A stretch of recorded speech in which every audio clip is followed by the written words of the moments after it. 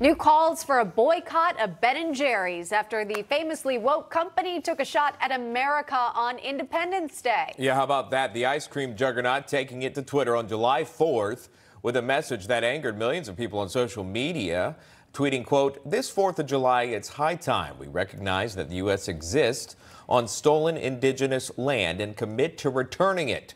Learn more and take action now.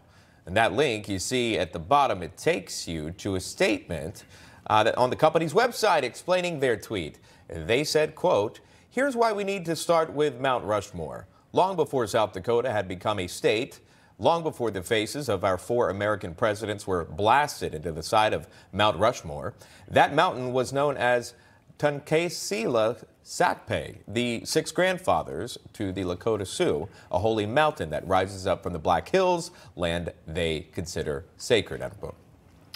Ben & Jerry's has long been a highly political company. They've come out with new flavors in the name of social justice, like Justice Remix in the name of prison reform and Changes Brewing after the death of George Floyd. The founders de describe themselves as activists, but many people are viewing this tweet as a direct attack on the founding of the United States of America and questioning why they decided to put this out on July 4th. Folks like country music legend and frequent national report guest John Rich tweeting this. Make Ben & Jerry's Bud Light again. Thousands of other tweets went out with the hashtag boycott Ben & Jerry's. Original founders Ben Cohen and Jerry Greenwood sold the company to the British multinational corporation Unilever a few years ago, but they still act as the marketing face of the company. Some Native American groups have protested over Mount Rushmore in the past. Earlier this year, Republicans filed a bill to protect it from being torn down. Imagine that, that having to happen there. Rich Valdes is the host of Rich Valdes America at Night. Good to see you, Rich. Thanks so much for coming. Yes, I appreciate that. Um, hard to believe we're talking about ice cream and controversy, but here they are essentially mixing together once again. You know, Ben and Jerry's, these guys are infamous for being woke, but I think right now they're like they're thinking kind of what John Rich was saying. They want to see is it true? If you go woke, do you really go broke? And I think this is a chance for the American people to, to really vote with their wallets and say, hey, you know what?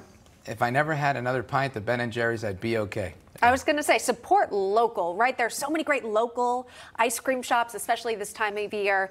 But I saw a tweet too. A lot of people poking fun at this, saying, "Ben and Jerry's, you realize you stole the you stole the milk from the cows. You better return that milk. Come on, you can't dish it." You know? That's funny. Um, but it does make you wonder. You know, will this have an impact when it comes to sales? You know, this company has taken political stances in the past that might not align with traditionally conservative consumers. Do you think this will be the tipping point? especially when you post it on July 4th.